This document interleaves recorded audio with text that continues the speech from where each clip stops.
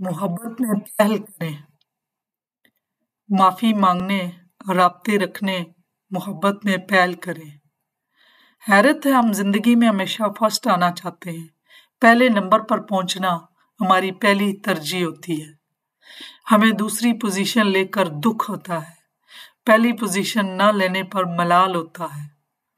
मगर पहली पोजीशन पर मरने वाले वही हम मोहब्बत करने, माफ़ी मांगने राब्ता रखने, फ़ोन पहले करने के मामले में कहते हैं कि मैं क्यों पहल करूँ?